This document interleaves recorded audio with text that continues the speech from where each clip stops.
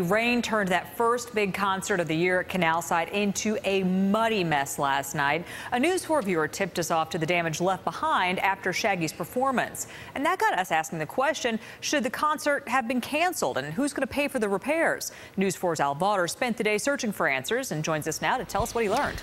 Well, Diana, the Erie County Erie Canal Harbor Development Corporation recognized the problem almost immediately and got to work first thing today, figuring out their options. We can also tell you that mud pit had little effect on Canalside activities today.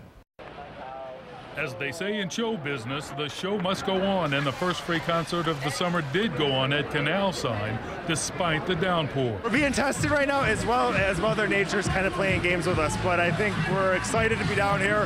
Really happy with the layout, how we designed the floor plan. No floor plan now, just a mud pit in front of the soundstage. Hardly a blade of grass to be found. And less than a week to get ready for the next free concert. You know, if they're going to do that every Thursday, you know, I'm not going to be standing over there in the mud and sneakers and stuff. so they got to do something about yeah. that. And canal officials are already on it. First thing in the morning, the Erie Canal Harbor Development Corporation put up a fence to keep people out of the muck.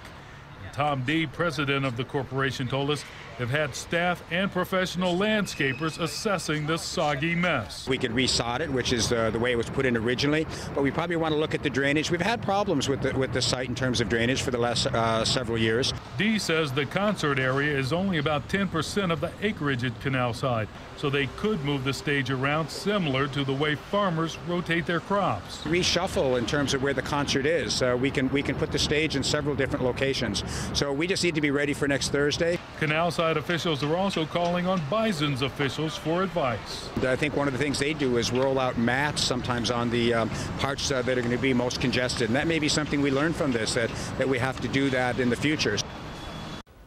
Tom Dee pointed out the Bisons have hosted a number of concerts at the downtown baseball stadium in all kinds of weather, and the grounds crew seems to have care of their field down to a science. That's the kind of expertise they're looking for at Canalside.